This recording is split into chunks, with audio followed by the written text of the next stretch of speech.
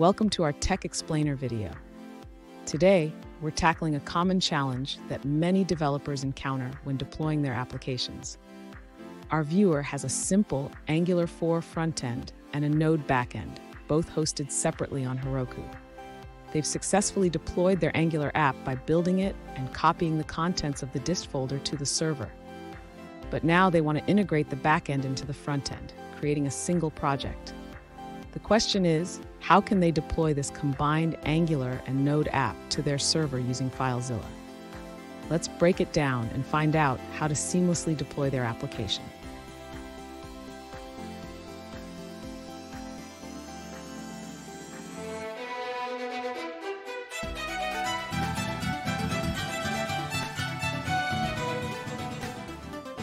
Welcome back to another technical video. Today we're going to be going through your question, answering it, and hopefully finding that solution. Guys, remember to stay just a little bit crazy like me, and hopefully you find that resolution. Now, let's continue on to the video.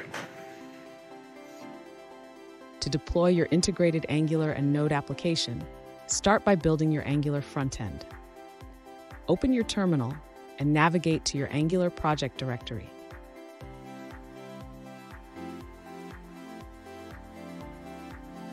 Next, you need to prepare your Node backend. Ensure that your server.js file is set up to serve the static files from the Angular dist folder. You can do this by adding the following code to your server.js.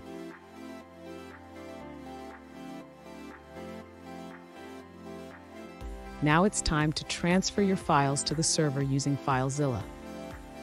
Connect to your server and navigate to the desired directory where you want to deploy your app.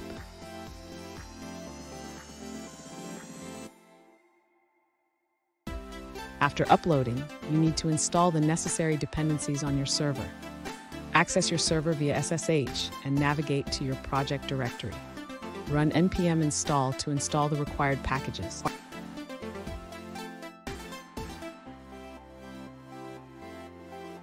Finally, you can start your Node server.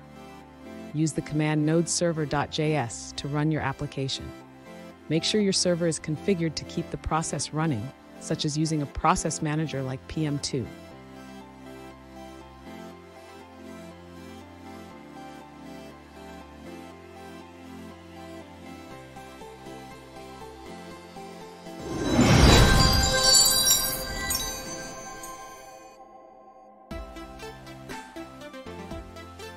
Let's now look at a user-suggested answer.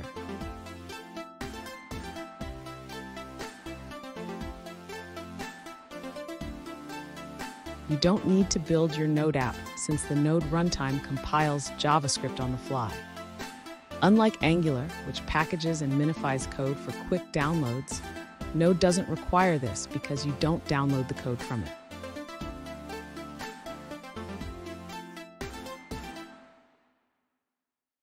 Deploying on Heroku is straightforward.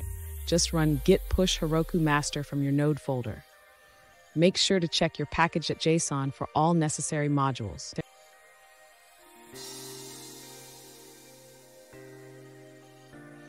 Remember, even if your app works locally with globally installed NPM modules, they must be listed in package.json for Heroku to install them correctly.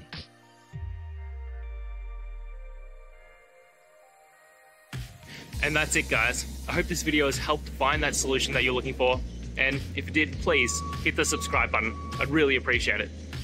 Now, until the next time that you need technical help, I hope you have a good one.